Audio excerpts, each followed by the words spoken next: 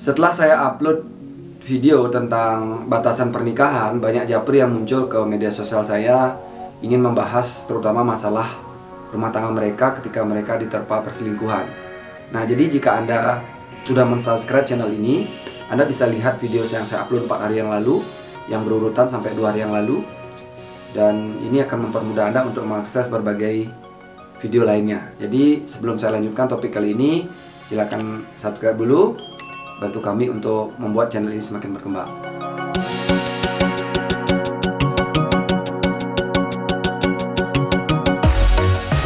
Pertanyaan pertama yang saya ajukan ketika seorang klien datang dengan penderitaan akan perselingkuhan yang dialami dalam rumah tangganya adalah saya akan bertanya what next? Lalu bagaimana? Selanjutnya gimana? Apakah Anda mau meneruskan rumah tangga ini atau Anda mau mempertahankan?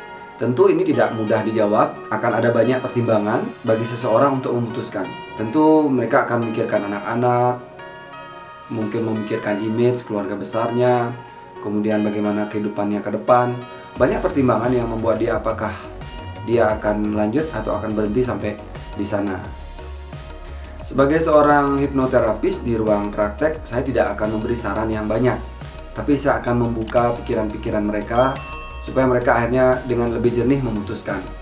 Tidak ada masalah dengan pernikahan dilanjutkan, tidak ada masalah dengan perpisahan, eh, tidak menikah pun selanjutnya juga tidak masalah. Yang menjadi masalah adalah ketika orang menderita dengan pilihannya. Artinya dia sudah memilih menikah atau lanjut tetapi dia menderita dengan perasaan belum memaafkan atau belum ikhlas atau dia mungkin memilih berpisah tapi dia juga menderita terhadap pilihannya itu karena mungkin dia akhirnya malu dan lain sebagainya. Nah, sebenarnya penderitaan tidak datang dari keadaan itu. Penderitaan itu datang ketika seseorang belum berdamai dengan keadaan, ketika dia belum menerima apa yang terjadi, belum menerima dirinya, sehingga dia belum merasakan kebahagiaan dalam dirinya, sehingga ia menjadi menderita bahkan karena pilihannya sendiri. Yang lebih penting dari bagaimana sikap atau pilihan kita selanjutnya adalah bagaimana kita mengelola diri kita sehingga kita tidak merasa sakit atau menderita terhadap pilihan itu.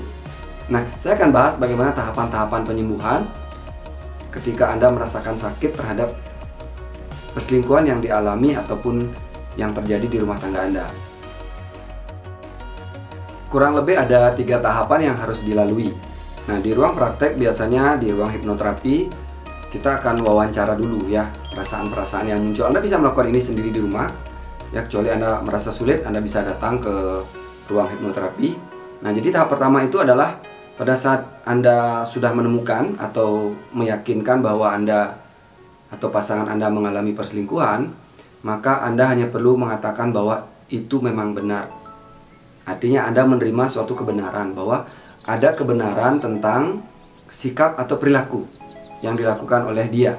Oh ternyata benar, apakah dia mungkin SMS, telepon, atau jalan, makan bareng, atau mungkin sampai melakukan hubungan yang lebih jauh. Sampai sejauh mana pun hubungan itu, yang perlu Anda lakukan adalah kenali dan akui bahwa itu memang benar terjadi.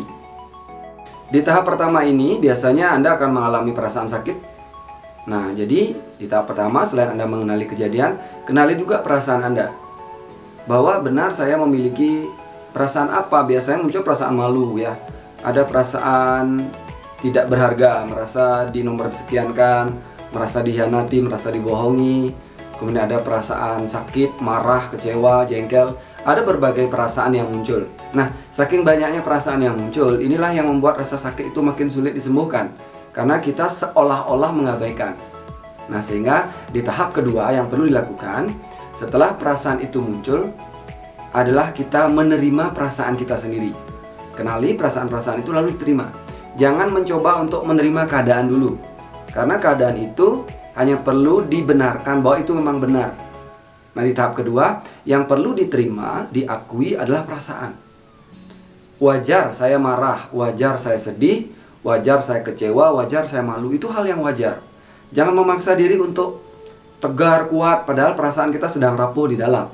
Nah, jadi kontemplasikan ke dalam diri, kenali perasaannya, kemudian diakui dan diterima. Jadi yang pertama itu, yang kedua ini adalah kita benar-benar menerima diri kita. Kan semua perasaan yang muncul.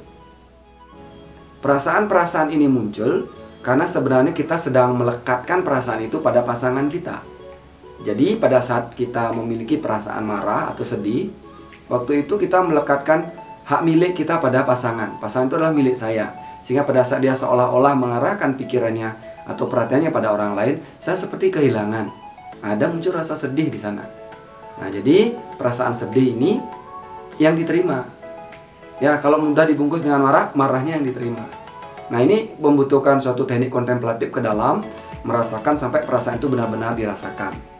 Nah, di tahap ketiga kita mulai beranjak dengan penyembuhan. Artinya ada luka di sana, ada kekurangan, kehilangan rasa kasih atau rasa luka akibat kemarahan, kesedihan ini itu kemudian ditambal dengan yang namanya kasih yang dari dalam diri kita.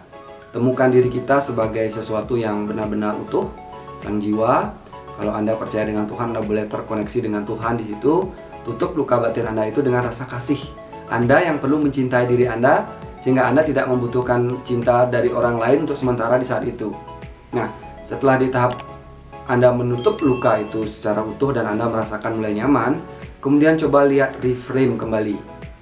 Ya, jadi di tahap ketiga ini selain Anda menutup menambal dengan rasa hati dengan energi dari Yang Maha Kuasa atau energi Sang Jiwa, kemudian Anda reframe. Lihat frame lain terhadap kejadian itu. Apa yang sungguh-sungguh terjadi di sana?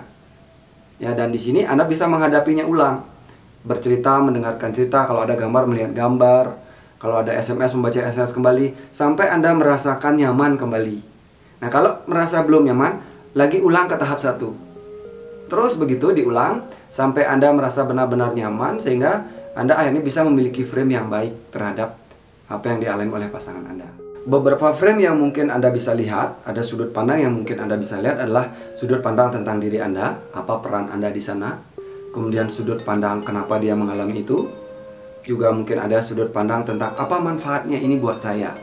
Nah, jadi tiga manfaat atau tiga frame ini itu akan membuat Anda mungkin bisa menjadi merasa bersyukur atas kejadian ini.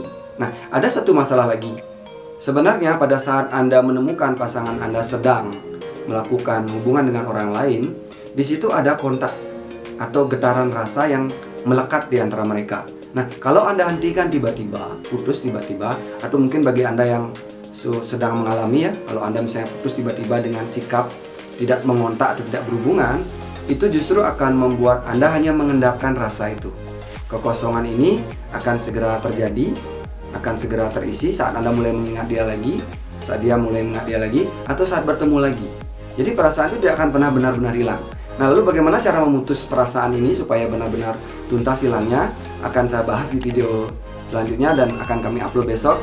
Jadi sampai jumpa di video selanjutnya.